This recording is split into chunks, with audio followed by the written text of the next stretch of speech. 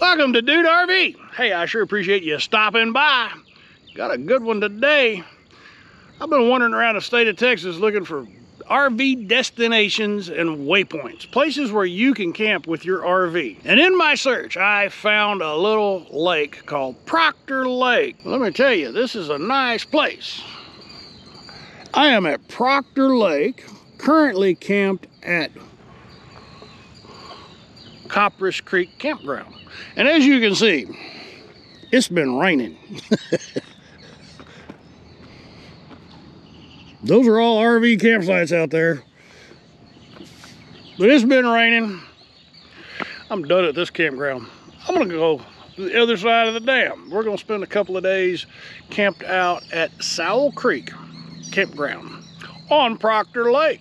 So come along with me. It's gonna be about a know, 30 minute drive for me and about a 30 second time lapse for you. So let's go to Sowell Creek Campground, Proctor Lake.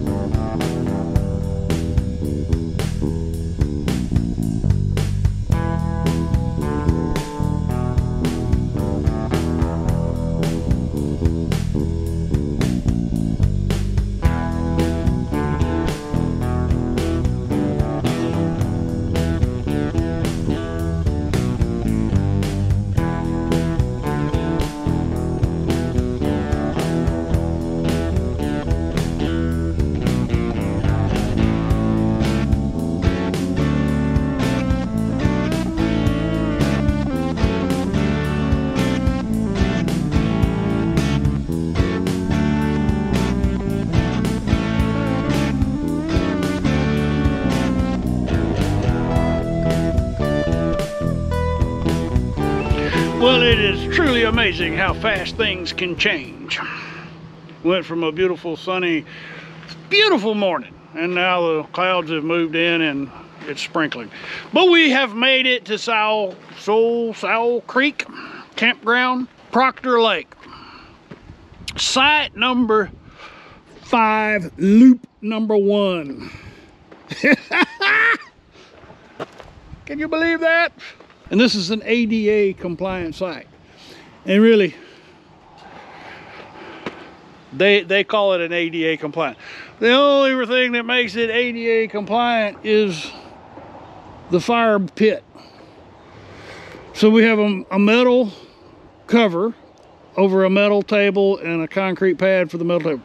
Nice big decomposed granite patio. Beautiful tree. Check out that tree. And you know, of course, we've got water view I thought I was going to have an issue getting getting level because it looks like I would, but it turns out it's pretty flat over here and there's no well there's a toe little bit of a toe catch there. And it is a this is a full connection site. This whole loop is full connection. Number four would be the primo site if you can get it but number five is not bad. Big enough parking spot here so you can park your other vehicle, get it out of the way. Or another RV, I guess. It is full connection, but this is where the sewer connection is here. And my sewer, my, my black tank, my dump is here. And I'm only running with the 15 foot Rhino hose so I'm not going to be able to take advantage of that until tomorrow on my way out. And the dump station would be more convenient on the way out. So anyway, now you know. Oh, it's 30 and 50 in the pedestal. All right, rain has, has arrived. Well, I guess I guess that's a wheelchair accessible table on both sides. This would be ideal when the sun is shining because that's west. That great big old tree would provide you with plenty of shade for your motor home. And if you have a boat, now the, the lake is like 12 feet high, 12 feet over pool, pond, con conservation pool.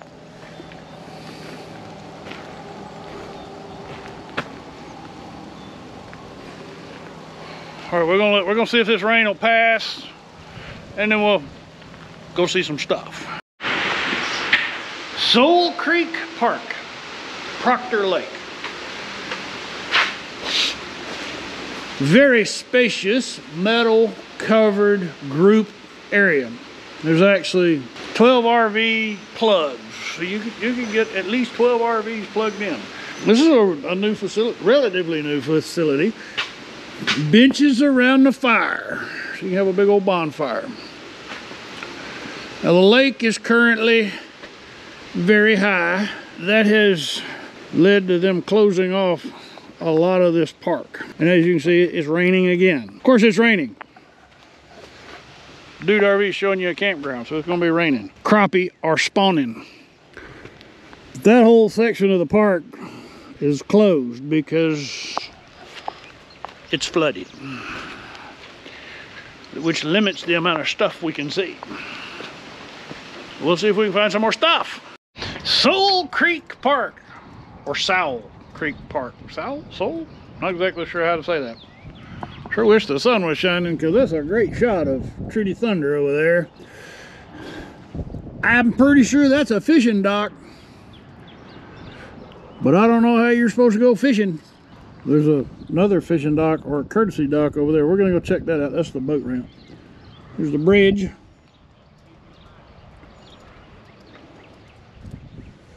And there's the rain. Tired of the rain. Ready for some dry. One good thing about a lots of heavy rain with a new RV is you, you get to figure out where all the leaks are.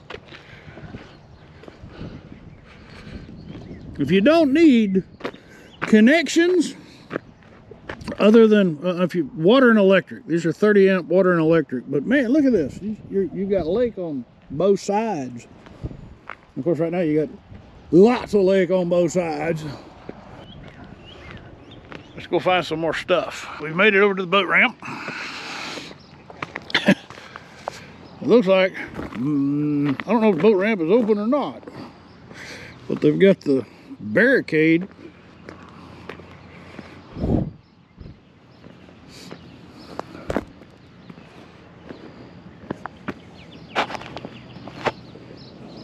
So there's there's a pathway going up to that courtesy dock. So that tells us that the water's edge is probably where that light pole is.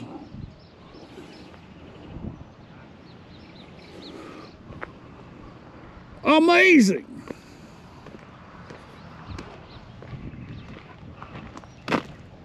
Let's see what else we can get into. Proctor Lake. I'm actually camped at the Sow Creek Park. It's over there on the other side of the this part of the lake. In case you're wondering, this is public parking. It's on the uh, north side of that bridge on the county road. There's a sign that says no camping, no campfires, no firearms. Doesn't say anything about no overnight parking or, or fishing overnight. It just says no camping. And there's a, another place over there we're gonna we're gonna check that out. I think that's a public boat ramp so that you don't have to go into the the campground. And when I was coming across this bridge, uh, the lake is extremely high right now. But right over there, there's a flood marker the top of that sign is it says five feet so that would be five feet above the bridge which means that it's been that high before otherwise they wouldn't have put that marker there and I would be standing underwater so this isn't too bad even though everything in the campground's underwater let's go see some more stuff where am I? Oh, Proctor Lake. That is actually a public access boat ramp. It's right next to the bridge. And there's a, another area right down here we're gonna go check out. We're gonna go, we're gonna go down that road. So hold on. So we were over there. or camp right there. I mean, that's literally, that's where the campsite is. Lots of water. So I just realized that there is no sign at this little lake access point that says no fishing, or I mean, no camping and no fires. Doesn't say that anywhere, so I, I guess you can officially legally camp there overnight. That'll be a great boondocker site. More to come.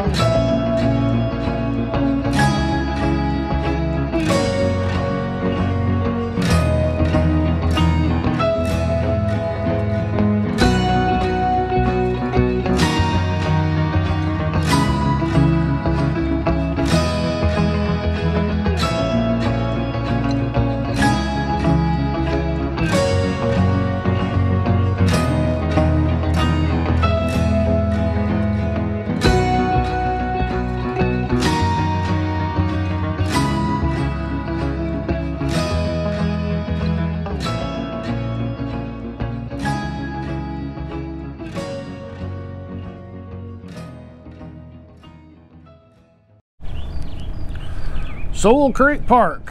So well. So well. Sowell Creek Park. Well, here we are. It's turned out to be a very pretty day. Unfortunately, it's not going to last. There's more rain in the forecast. This afternoon, and then tonight, and then all day tomorrow. 70% chance of rain tomorrow.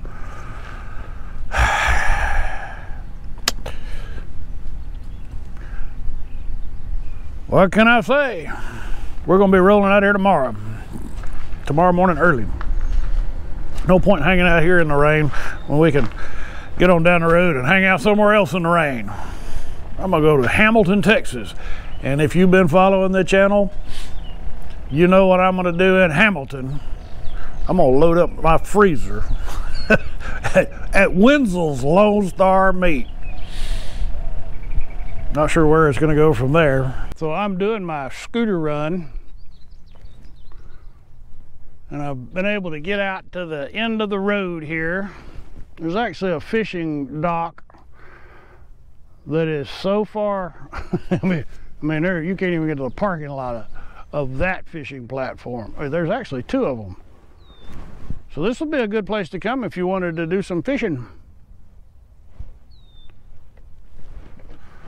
And there's access below the dam, but you have to walk. We're gonna go back to the scooter tour. I'm doing the virtual tour of Sowell Creek Park and I found a trail that led me to the day use area. That's actually supposed to be a swim beach, maybe. And then there's a play structure, but it looks like this part of the park has been neglected for quite some time. Not a recent thing. I don't know. Maybe if you visit, you can post a comment down below and tell us whether or not this is, is still in use or not. I, I'm gonna show you something. I was getting ready to do some some bank fishing. Got a great place here. Not like the last campsite. Nice flat area. And I get out here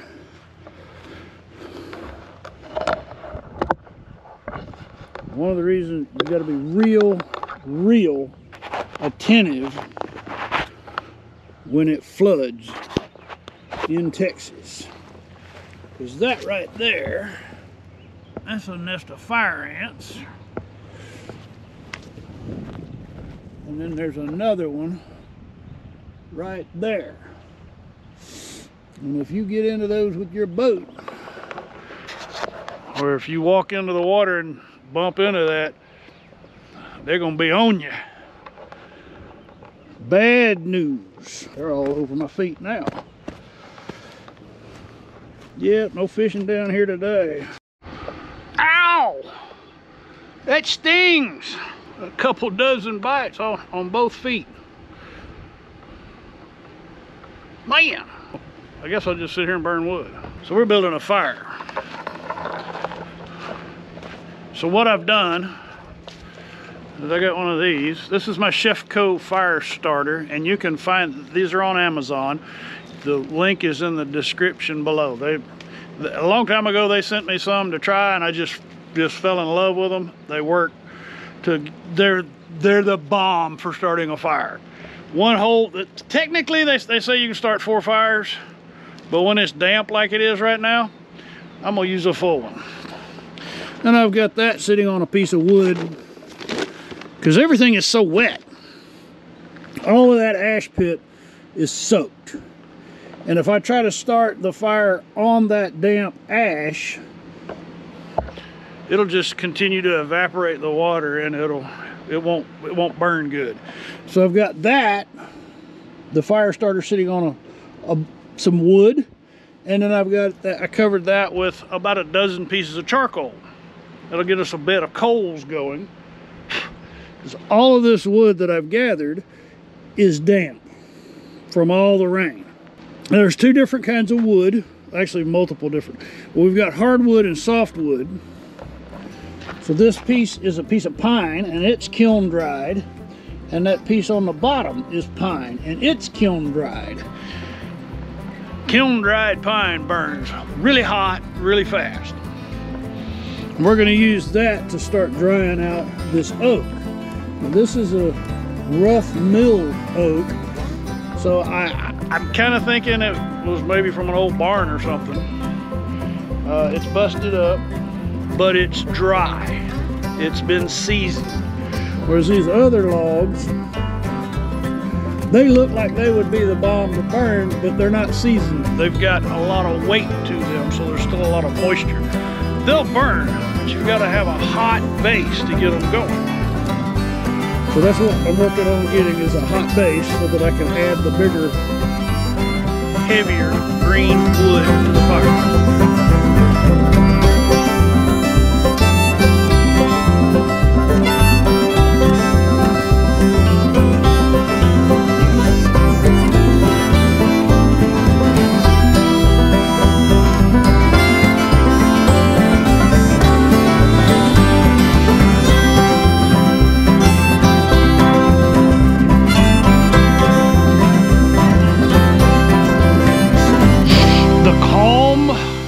The storm. And look how beautiful that is. It's almost a sheet of glass.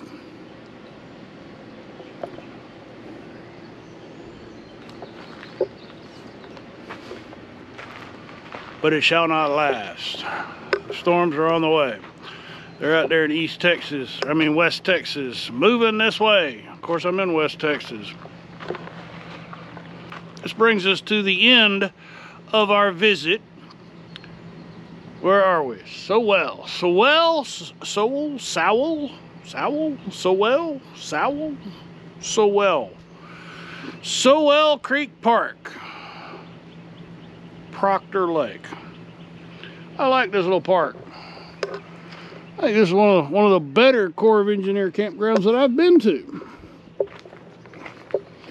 Actually, all of them have been really, the, the, two that I've visited on Proctor Lake have been very nice. The people, the staff have been very, very nice. And, and if you're looking for a place to volunteer so you can have a campsite, they, they need hosts out here. So if this is your first visit to Dude RV, I'd be so honored if you'd consider clicking on that subscribe button. And for those of you who have been following along, thank you so very much. I'm so deeply honored. And for my patrons, y'all rock. All right, y'all come back now, you hear?